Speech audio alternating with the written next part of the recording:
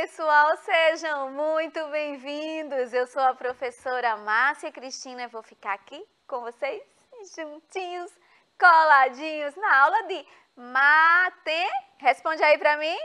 Márcia, isso, matemácia, né, gente? Que é matemática com a professora Márcia. Vocês já sabem. Quem me, quem me acompanha por aqui já sabe tudo, tudo, tudo, tudo. E o assunto de hoje, olha lá, ideias de fração, só que a gente vai ver quantidades discreta, tá? Quantidade discreta. Que é isso, professora Márcia? A senhora não é discreta, mas a fração é, viu, gente? E é isso que a gente vai aprender hoje. Porque eu sei que você está aqui, ó, ligadinho com a gente. Você pode estar me vendo nesse momento pela TV, né? Muita gente assiste aí pela TV, mas você pode também tá, estar usando o seu tablet, né? Tem lá o aplicativo do Educa Recife. Você pode ter baixado o aplicativo e estar usando o seu smartphone. Então, seja de qual forma for, Sejam muito bem-vindos ou você que está nos acompanhando aí no YouTube. Então dá teu like aí nas nossas aulas, responde os desafios porque vocês sabem que é muito mais interessante com a participação de vocês. E se ainda não tiverem um aplicativo, olha aí, ó, o QR Code na tua telinha é só apontar a câmera do celular e baixar. Gente, é sempre maravilhoso ter vocês aqui comigo, né? Vocês sabem disso. Porque mais maravilhoso ainda, além de vocês, eu gosto também de estar com essas maravilhosas que estão aqui pertinho de mim, que é a nossa querida Jéssica, a intérprete de Libras maravilhosa, fazendo essa inclusão aí para você que está me vendo agora, certo? E também, ó, a nossa querida professora Mauricéia. Seja muito bem-vinda, Mauricéia. Obrigada, Márcia. Eu ainda estou aqui me divertindo com as respostas que está aparecendo no chat, referente aos bichinhos fofinhos da aula de língua portuguesa que eu falei.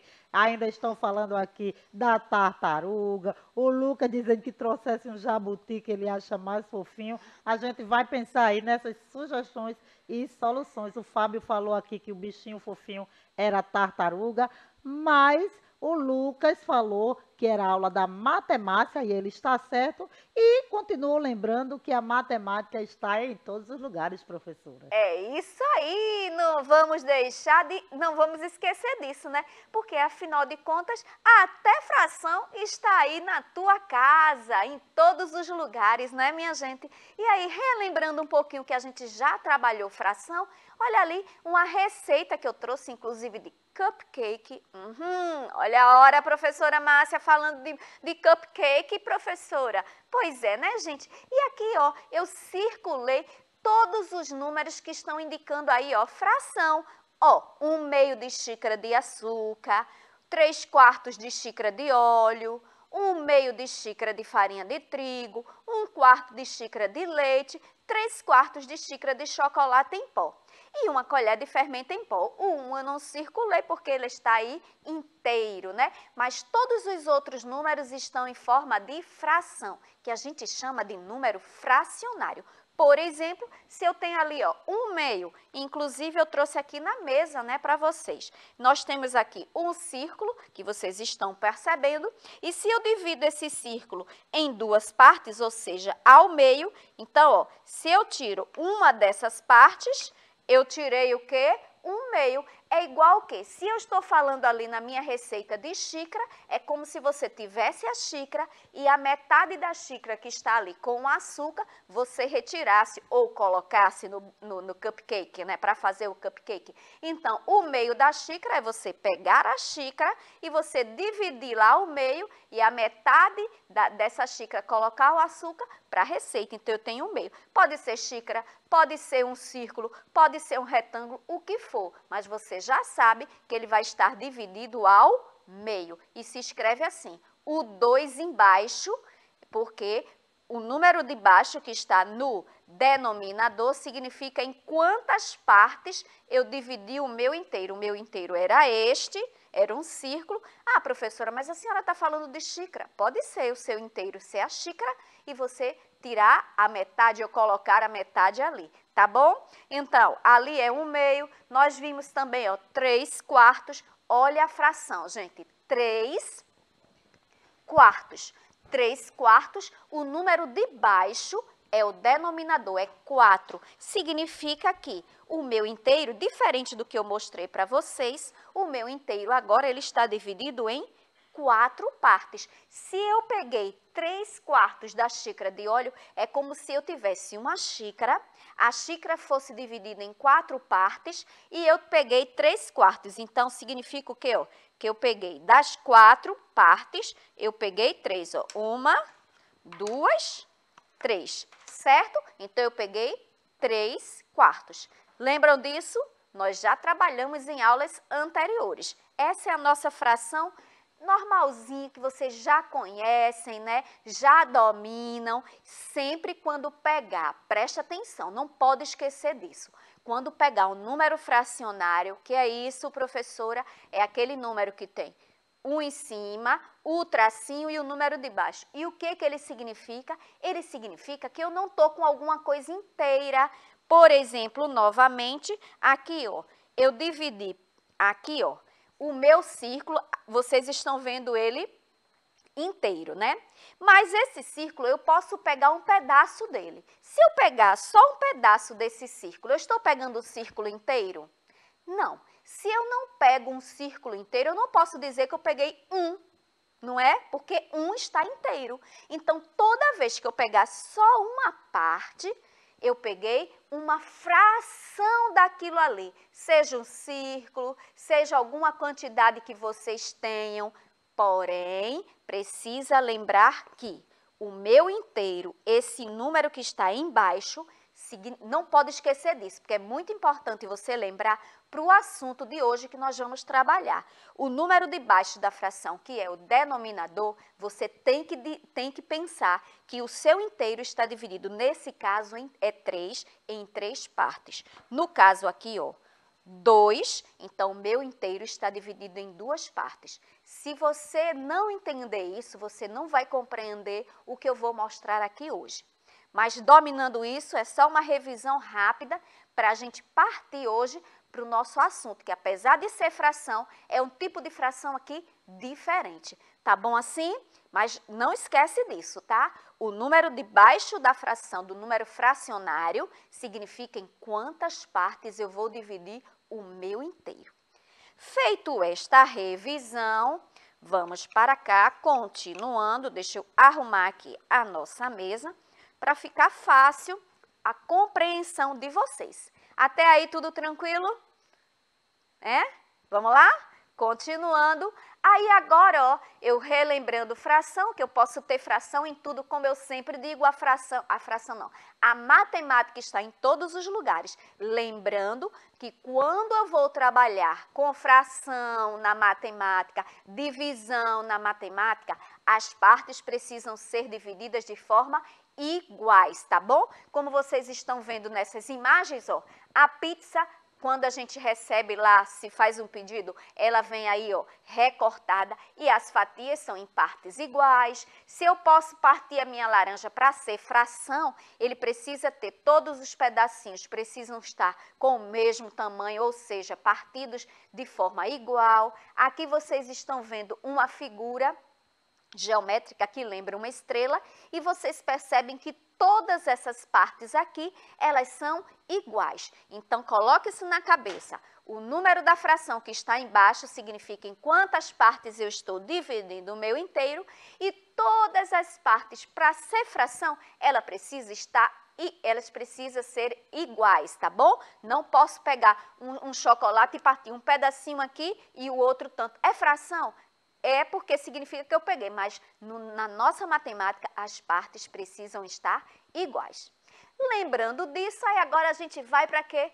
Começar aí os nossos desafios, porque eu gosto assim. E compreendendo, vou ensiná-los é, a nossa fração hoje em quantidades. Por isso que ela, ela se chama assim a, a fração discreta, tá bom? Hoje nós vamos, estamos vendo um tipo de fração que é a fração discreta. E eu trouxe uma situação, um problema para nós realizarmos. Olha lá, diz o seguinte, como é que a gente vai resolver esse problema? Olha lá, será que você que está me vendo agora já sabe? Porque você pode saber, então se você sabe, já vai me dizendo, tá bom? Mas se não sabe, não se preocupa, porque você vai aprender. E aqui diz assim, ó, a professora Verônica informou que na turma dela, apenas um quinto dos estudantes da turma não tiraram nota 10 em matemática. Olha só, apenas um quinto. Aí você pode dizer, aham, eles não. Será que eles não estavam assistindo às aulas da professora Márcia? Mas é assim, gente, não tiraram 10, mas podem ter tirado 9, pode ter tirado 8, não é verdade? Então, ela disse que apenas um quinto dos estudantes não tiraram nota 10. Aí ela vem com uma informação preciosa. Ela diz que a turma tem 20 estudantes. Aí a pergunta é: quanto é um quinto de 20? E professora Márcia, Agora, hoje, a gente vai trabalhar a fração em quantidades. E aí, lembram daquela primeira dica que eu dei para vocês? Eu tenho aqui um quinto. Responde aí para a professora Mauricéia, que está no chat. Já? Mas desde que você colocou o problema na tela, que a Ana disse, colocou aqui, que sabia sim. Hum. E aí vieram respostas. Por exemplo, o Fábio disse que você pergunta aí, quanto é um quinto de 20? E o Fábio respondeu 4. Ah. O Fábio respondeu 4. Deixa eu ver aqui se a Ana também já respondeu. Que ela disse que sabia, mas acho que não deu resposta, só falou que sabia. Porém, o Fábio respondeu 4. Então vamos compreender isso aí. O que é isso, um quinto de 20? Eu dei a dica para vocês. Eu disse que quando vocês pegarem uma fração, como tem aqui, ó, um quinto, o primeiro número que você vai olhar é o número de baixo. Porque o número de baixo, que é o denominador, vai estar te dizendo em quantas partes você vai dividir o seu inteiro, tá bom? No caso aqui, o inteiro vai ser dividido em cinco partes. Só que as cinco partes para uma quantidade de 20 estudantes. Aí eu vou mostrar para vocês, olha aí, a turma da professora Verônica com todos os estudantes dela, ou seja, com os 20 estudantes. E nós vamos ver agora ó, um quinto de 20. Na fração um quinto, o inteiro está dividido em quantas partes? Que eu acabei de dizer aqui para vocês. O inteiro está dividido em cinco partes. Então, gente, quando vocês forem trabalhar, como já tem aí estudante que já deu a resposta, né? Mas pode ser que alguns não saibam, então vamos aprender aqui juntos. Olha a dica, quando você pegar uma quantidade e você precisar calcular uma fração daquela quantidade, você pega a fração e já olha esse número que está embaixo, que no caso aqui é 5. E o número 5 é a quantidade que você vai dividir esse grupão, tá bom? Então vamos ver como é que vai ficar para a gente compreender. Olha só, olha o que eu fiz. Eu peguei e fiz essa divisão, porque a minha fração está dizendo para mim que eu vou dividir a quantidade em cinco partes. E pode lembrar, tá? Que na fração todos os conjuntos, todas as partes precisam ter a mesma quantidade, como vocês estão vendo aqui. Ó. Tem quatro pessoas no primeiro grupo, quatro no segundo, no terceiro, no quarto e no quinto. Agora vai lembrar da fração que nós já aprendemos? Olha lá, aqui eu tenho ó, cinco partes e fica agora fácil de eu descobrir quanto é um quinto. É a mesma coisa de eu, eu, se eu tivesse aqui o círculo dividido em cinco partes e eu vou tirar uma parte apenas. E aqui eu vou ver a quantidade que está naquela parte. Olha lá, eu tenho cinco partes, não é verdade? E aí, quanto é um quinto? Como vocês já me disseram, é uma, um pedaço desse, ó. Um quinto é um pedaço desse que está esse grupinho. E nesse grupinho tem quantos alunos, minha gente? Nesse grupinho eu tenho um quinto e são quantos alunos? Exatamente o que vocês me responderam, que são ó, quatro estudantes, porque aqui dentro deste um quinto eu tenho os quatro estudantes. Isso é a fração discreta, é a fração que a gente calcula em uma quantidade. Compreendido? Mas se não compreendeu, a gente vai fazer mais exercícios e agora eu vou pedir a ajuda de vocês. Aqui agora, olha só, e se dois quintos dos estudantes não tivessem retirado 10? E aí, pessoal? A dica já está aí. O, foi o Lucas, foi Maurício que tinha respondido a, o 4? Foi o Fábio. Foi o Fábio. Pronto. O Fábio respondeu que um quinto eram quatro estudantes. E se, e se não tivesse retirado 10, dois quintos dos estudantes, quantos estudantes seriam? A tela está aí dando a dica para vocês, né? Dois quintos é o quê? É um quinto mais um quinto. Eu estou juntando ali, ó, dois quintos. E aí? Em um quinto, vocês disseram que era quatro estudantes. Em dois quintos, são quantos estudantes? Que se, se, né, não tivessem tirado 10 aí na professora Verônica. Ah, e agora sim, a Ana respondeu e o Fábio também. Todos dois falaram que a resposta é 5. 5?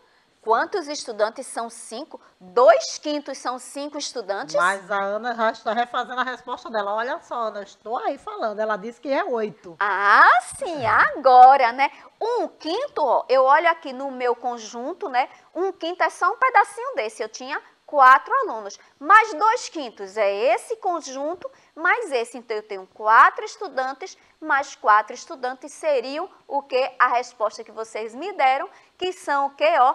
Oito estudantes. Estão compreendendo a fração discreta? A gente está calculando a fração em uma quantidade. E aqui, ó, eu trouxe mais uma situação para vocês e eu vou mostrar aqui na mesa para ficar mais claro ainda. Olha só, Ivan comprou uma caixa com 12 bonecos da Lego, certo? Que é uma marca aí, ó, ele comprou esses bonequinhos.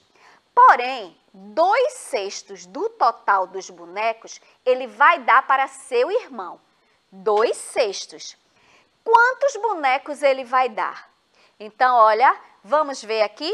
Eu trouxe os bonequinhos para vocês. A quantidade de bonequinhos que o Ivan tem. Quantos bonequinhos Ivan tem? Doze, né, gente? Então, ó, eu expliquei para vocês. Se você vai calcular a quantidade, é, é, a fração em uma quantidade, como vocês estão vendo aqui dos bonecos, você precisa olhar primeiro a fração.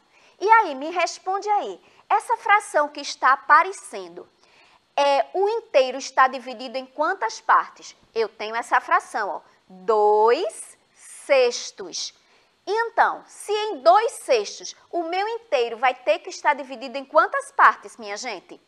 Olha só, a Ana colocou aqui uma resposta e o Fábio, outros dois, hoje estão muito participativos aí, mas divergiram um pouquinho. A Ana disse que a resposta seria seis. Já o Fábio disse que a resposta é, dá, ele botou aqui, dá dois, ele dá dois para o irmão e fica com quatro. Ah, Fábio já deu a resposta do problema e talvez a Ana tenha dado a resposta que eu perguntei, né, Ana? Onde eu digo assim: em dois sextos, o meu inteiro está dividido em quantas partes? Em 6, né? Aí a gente vai conferir a resposta para ver se o resultado está certo. Então, se eu pego uma quantidade, como vocês estão vendo aqui, ó, 1, 2, 3, 4, 5, 6, 7, 8, 9, 10, 11, 12, é a quantidade que Ivan tem dos bonecos. E eu preciso dividir essa quantidade em grupos, é, em seis grupos, né? E lembra que na fração os grupos precisam estar com a mesma quantidade. Se eu tenho 12, se eu vou fazer seis grupos, quantos é, bonequinhos vai ficar em cada grupo? Vamos ver dois, né? Se eu tenho aqui, ó, tem um grupo, dois grupos, vamos ver, né? Se dá.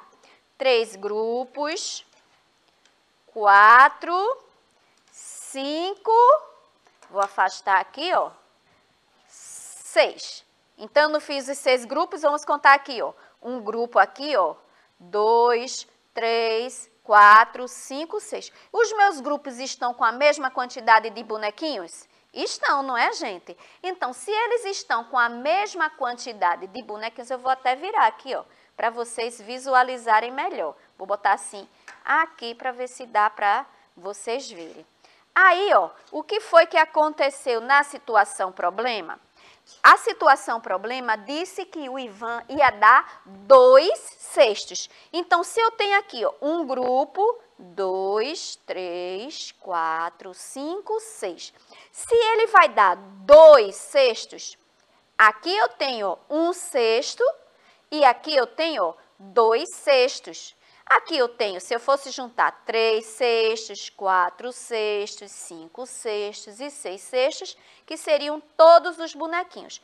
Aí a pergunta é, quantos bonecos ele vai dar para o irmão? Será que vocês responderam certo? Ele vai dar dois cestos. Olha lá, se um, um, como é, um conjuntinho desse é um cesto, em um cesto ele daria quantos bonecos?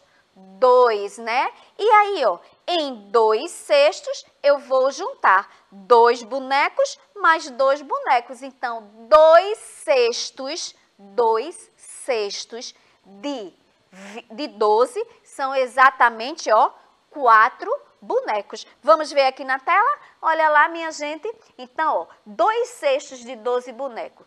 12 bonecos. Na fração 2 sextos, o inteiro está dividido em quantas partes? Em seis, como vocês me responderam, em seis partes, que foram justamente a, as partes que eu dividi de forma igual. E o que foi que eu fiz? Eu saí calculando 2 cestos de 12 bonecos, são exatamente quatro bonecos, ó. Dois, que é de um cesto, mais dois de dois cestos. Então, o total aqui, ó, esses quatro bonecos, o Ivan ia dar para o irmão e ele iria ficar com esses outros aqui, ó. Ele iria ficar com dois, quatro, seis, oito bonecos.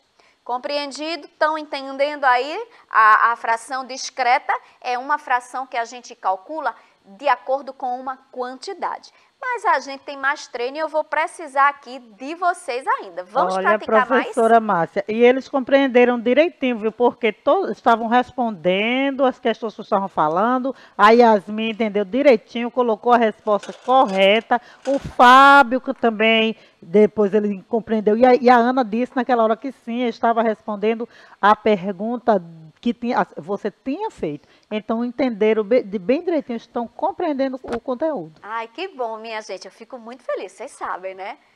Eita, que é muito bom para mim. Então, aqui a gente vai praticar mais, porque matemática é isso, viu, gente? A gente só aprende praticando. Aí, agora, essa aí, fácil, fácil, fácil. Rosas, inclusive, eu trouxe aqui rosas também para vocês. Foram aqui 10 rosas e eu trouxe, né, as 10 rosas feitas também em tecido para vocês visualizarem melhor e vocês compreenderem, porque vocês sabem, né, que eu gosto quando vocês compreendem as coisas. E olha a nossa situação problema, a próxima situação problema diz o seguinte: Silvia fez 10 rosas de tecido. Inclusive, eu trouxe aqui umas rosas de tecido também para vocês visualizarem. Aí, olha só. E ela vai usar um meio. Esse é fácil, né, gente? Ela vai usar um meio para decorar sua almofada, o meio dessas rosas. Então, gente, Quantas rosas serão usadas? Vocês estão vendo aí na tela as rosas, e eu trouxe também as rosas na mesa aqui para vocês. Olha só as rosas também de tecido aqui. Aí, ó, eu disse para vocês, quando vocês pegarem uma situação problema, tem que olhar a fração. Olha a fração que eu tenho no meu problema, um meio. Aí você vai olhar aquele número que está no denominador, que é o número de baixo. O meu inteiro vai ser dividido em quantas partes, minha gente? Olha lá, em, então, em duas. É a primeira coisa que você tem. Não esquece disso. A professora Márcia disse que quando eu pegar uma fração, eu tenho que olhar o número que está no denominador para eu saber que o meu inteiro, seja ele qual for, seja ele um bolo, seja ele quantidades, como vocês estão vendo aqui hoje. Então, o meio, o inteiro está dividido em duas partes, que é o número que está aqui, ó, no denominador. E é isso que eu vou fazer, pessoal.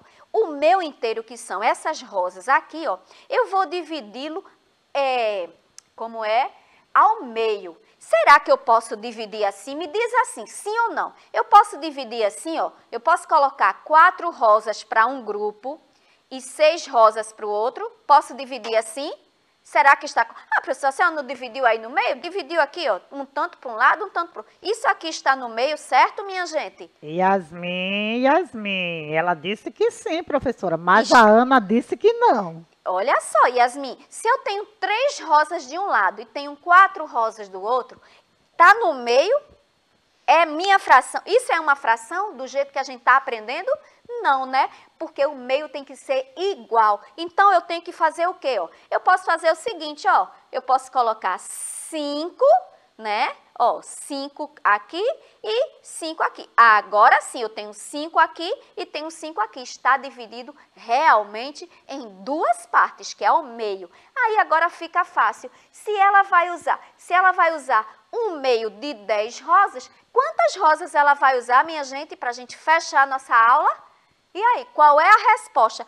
Qual é a resposta que vocês visualizando essas rosas? Quantas rosas Silvia vai usar para enfeitar as almofadas dela? Já tem essa resposta?